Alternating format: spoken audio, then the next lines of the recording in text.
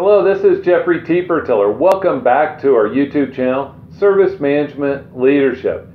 This is our seventh video in a series on request fulfillment best practices adapted from an article I read by Rodrigo Fernando Flores.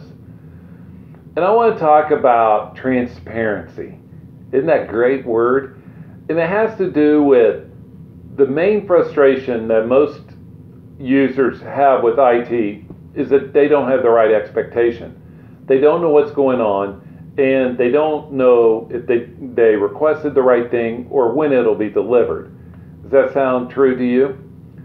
So, in this article, Mr. Flores suggests that people love UPS tracking. They love knowing when their stuff's going to be delivered. You know why? It's because it alleviates calls to the service desk, which saves you money. And so if we provide them tracking information or expectations, then it saves costly calls to our service desk. Most of you have metrics about how much each call costs to your service desk. And if we can alleviate 3%, 4%, 5% of those calls, that's huge, huge. And so I want to encourage you to put some kind of mechanism that allows status and expectation for these service requests.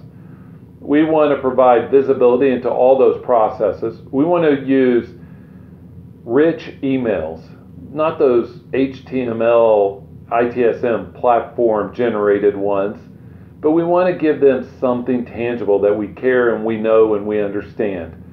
And lastly, we want to provide them a receipt not just a tracking number. This is this is what you should expect when you get it when you're going to accept uh, expect it. And lastly, when it's delivered, give them a receipt with ability to provide feedback on that process. All that together will muchly increase your customer satisfaction, which is great, but also lower your costs, which is even better.